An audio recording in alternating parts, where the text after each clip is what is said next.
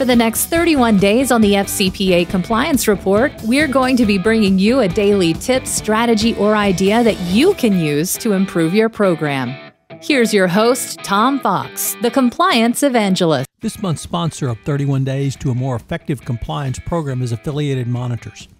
Founded in 2004, Affiliated Monitors provides professional, independent integrity monitoring and ethics and compliance assessments nationally and internationally and across almost all industries. With its knowledge of effective ethics and compliance programs and cultures, Affiliated Monitors is respected for its work as the corporate monitor on matters ranging from multinational corporations to small and mid sized companies and even individuals. Having served in over 750 monitorships, no one has more experience as an independent monitor than the team at Affiliated Monitors.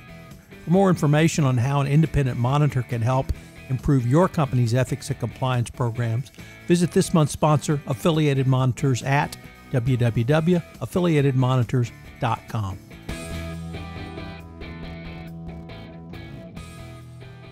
Discipline and rigor in your internal controls. Today, New York Times columnist David Brooks' thoughts on building and maintaining order inform today's lessons on internal controls. In the area of internal controls, I believe it is incumbent to consider not only the obvious risk areas for your internal controls, but also the universe of potential transactions within the operations of your company. Once again, relying on internal controls expert Joe Howell, the executive vice president at Workiva on the need for rigor in your internal control protocols and how adherence to that rigor can increase operationalization around some types of internal controls a company should consider, including gifts, travel, business courtesies, and entertainment.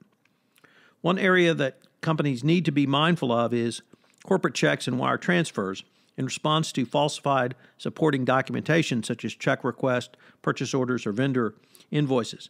The delegation of authority is critical, a critical internal control. So, for example, a wire transfer of X between company bank accounts in the United States might require the approval of the finance manager at the initiating location and one officer. However, a wire transfer to of X dollars to the company's bank account in Nigeria could require approval from a multitude or multiple of approvers, including the finance manager, a knowledgeable person in the compliance function, and at least one corporate officer. The key is that the delegation of authority should specify who must give the final approval for each expense. Slush funds are the situation where cash or checks drawn on local banks, bank accounts in locations outside the United States are located in off the book, off books bank accounts. Petty cash disbursements in locations outside the U.S. have unique control issues. Some petty cash funds outside the U.S. have small balances, but substantial throughput of transactions. Your delegation of authority should address replenishment of petty cash funds in countries outside the U.S., as well as approval of expense reports for employees who work outside the U.S., including those who travel from the U.S. to work outside the U.S. Another area for concern is travel. The reason being that a company's corporate travel department and independent travel agencies can buy tickets, hotel rooms for non employees.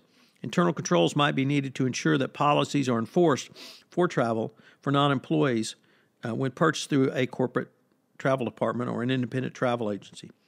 As was demonstrated in the GlaxoSmithKline corruption enforcement action in China, a company must not discount the risk related to the abuse of power internally in collusion with independent travel agencies. You should implement procedures to ensure compliance with your company policies regarding payment of travel and related expenses for third parties for not only visits to manufacturing or job sites, but also any compliance restrictions that might be in place. An area for fraud, corruption, and corporate abuse has long been procurement cards or P cards. If your company uses procurement cards, assume these to be a very high risk area, not just for FCPA, but for fraud generally. Banks have made a great selling job for corporations for the use of procurement cards to help facilitate cash management, but more often than not, they can be simply streamlined, a simply streamlined way to allow embezzlement and misbehavior to go undetected. Here, a control objective should be put in place along the lines of a written policy and procedures defining the acceptable and unacceptable use of procurement cards, required forms, required approvals, and documentation, including review requirements. An interesting analogy that Hal used is a step faster than the bear. If this is the theory that you do not have to have a home which would allow you full protection if you're attacked by a bear. You simply have to have a stronger one than your neighbor because uh, the bear will attack the weakest link. And this means if the pre approval process or strong controls over expense reports uh, prevent misbehavior, misbehavior, employees who wish to misbehave will seek other ways to do it where the controls are not so strong.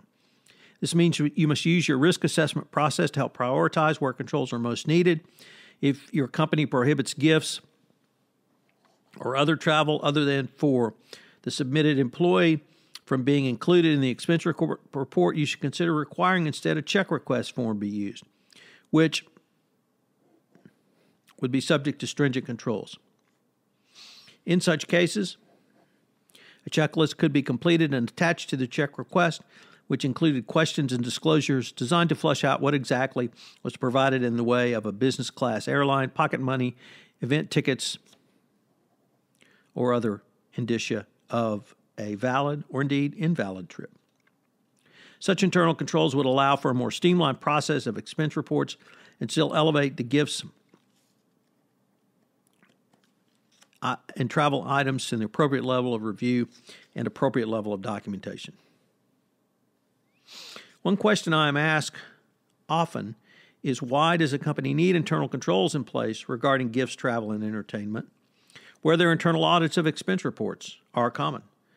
It is important to keep in mind that with respect to gifts, travel, and entertainment, internal audits most often constitute, at best, a detect control, which only gives comfort for some historical period on a retrospective look back and is not necessarily a representative of the controls in place to prevent future violations.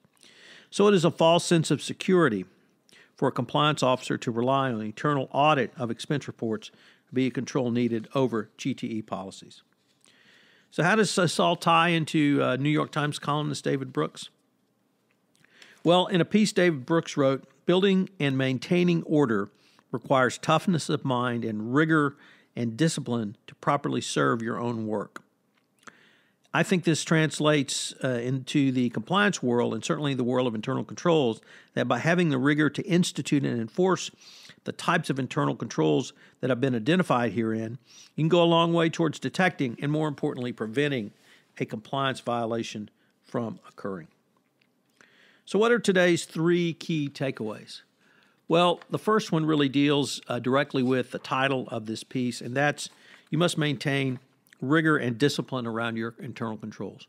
Once you put the internal cl- controls in place, you cannot have them circumvented. You cannot have senior management walk around them. You must uh, emphasize to employees that if they want expense reimbursements, they're going to have to fill out the form and have the form side, signed and have all information. Number two, never forget that controls against fraud can also help you prevent corruption.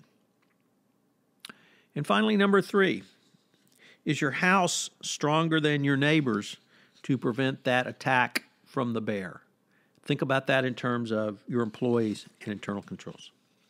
Enjoyed this episode of One Month to Better Internal Controls. If you've listened to this podcast on iTunes, I would greatly appreciate it if you would rate this podcast as it would help in our rankings. Get the word out about the only one month podcast series, which enables you to design, implement, and enhance a better compliance program. Also, if you have any questions, please feel free to contact me at tfox at tfoxlaw.com. This is Tom Fox. Thank you very much for listening, and I hope you will join us again tomorrow. Once again, thanks to our sponsor, Affiliated Monitors, for sponsoring this month's series. This production of 31 Days to a More Effective Compliance Program is a special production of the Compliance Podcast Network. I hope you will join me again tomorrow.